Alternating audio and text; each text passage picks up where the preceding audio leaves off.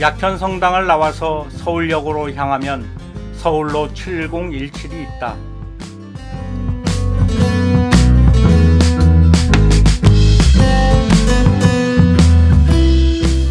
1970년에 준공되어 서울역 동부와 서부를 잇던 서울역 고가도로는 당초 안전 문제로 철거 위기에 놓였으나 철거 대신에 지역의 새로운 활력을 불어넣기 위하여 고가도로를 재활용하는 서울로 7017 프로젝트가 추진되었고 고립되었던 서울역 일대를 연결하여 보행길로 재생하였다.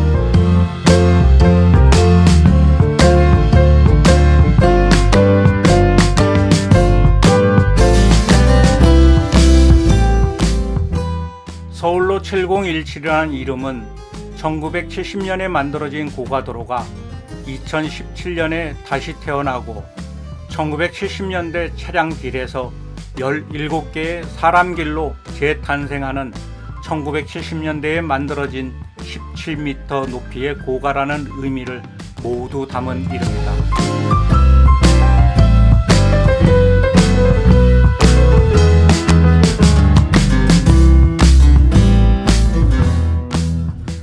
이 이름대로 서울로 7017은 단절되어 있던 도시를 연결하는 17개의 보행기를 갖추고 있어 침체된 지역의 활력을 연결하는 역할을 할 것으로 기대된다.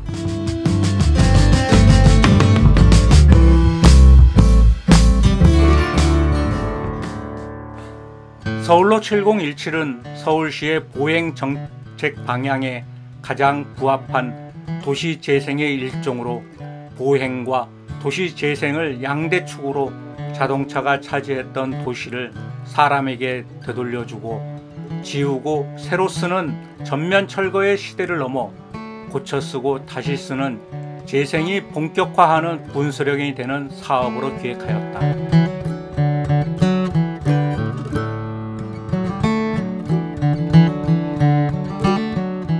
서울로 7017의 개장은 단순히 서울의 새 명소 탄생의 차원을 넘어 길의 주인이 자동차가 아닌 시민이라는 선언과 세계 도시들에게도 이미 보행과 재생은 하나의 트렌드이자 꼭 가야 할 미래 방향이라고 인식시켰다고 평가받고 있다.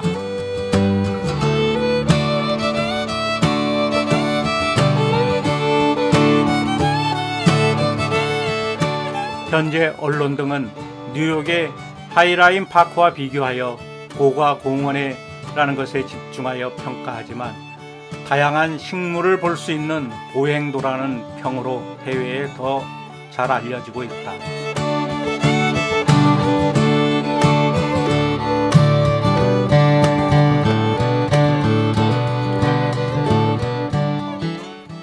서울로에서는 사계절 축제를 준비하여 진행 중에 있으며 길이라는 테마를 반영하여 퍼레이드 형태의 축제를 기획 운영하고 있지만 올해는 코로나19의 영향으로 모든 행사들이 중지되어 안타까웠다.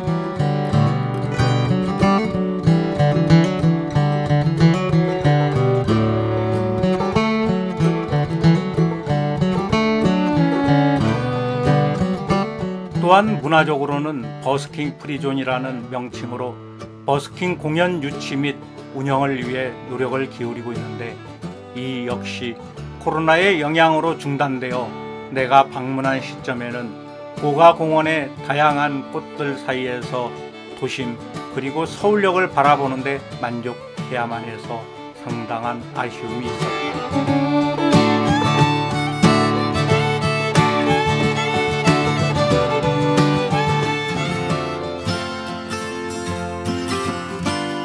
서울로 7017에는 관광 안내소 및 카페부터 목련 무대, 달팽이 극장, 장미 무대, 방방 놀이터 등 다양한 체험 시설과 편의 시설이 설치되어 있어 쉬고 거닐며 즐길 수 있는 공간이자 645개의 원형 화분에 총 228종의 2만 4천 주의 다양한 수목을 식재한 아름다운 공중 정원으로 조성되어 있다.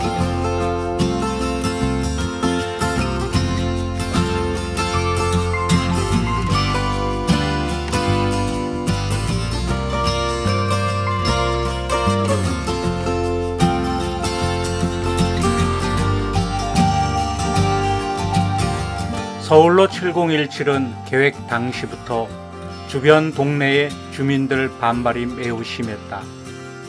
이 프로젝트에 대한 가장 큰 우려는 서울역 고가도로가 폐쇄하면 주변 지역의 교통 대란이 더 심해질 것이라는 반응이었다. 또한 동네 주민들을 비롯한 여러 서울 시민들이 고가도로 주변 상권들이 더 안 좋아질 것 등 몇몇 이유를 내세워 우려와 반대를 표했다. 그러나 그러한 우려는 기후가 됐고 이제는 용산구 해방촌에서 서울역 뒤편 만리동 그리고 서울로 7017까지 도심 재생을 추진하기 위해 노력 중이다.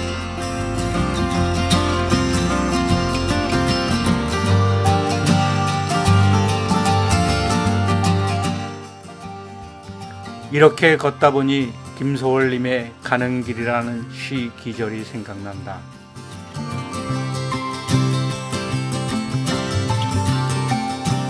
가는 길. 그립다 말을 할까 하니 그리워. 그냥 갈까? 그래도 다시 더 한번. 저 산에도 까마귀 들에 까마귀 선산에는 해진다고 지적입니다. 앞강물 뒷강물 흐르는 물은 어서 따라오라고 따라가자고 흘러도 연달아 흐릅 기다려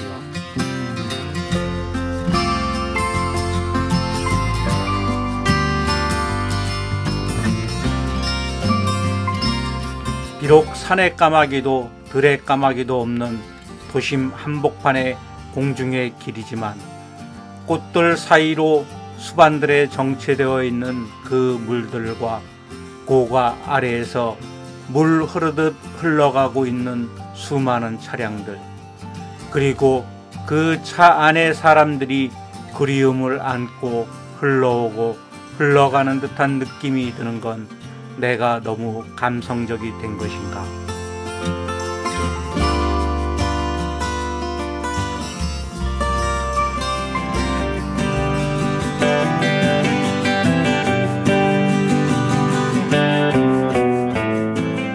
서울로 7017은 365일 24시간 개방되어 있어 언제든지 자유롭게 이용이 가능하다.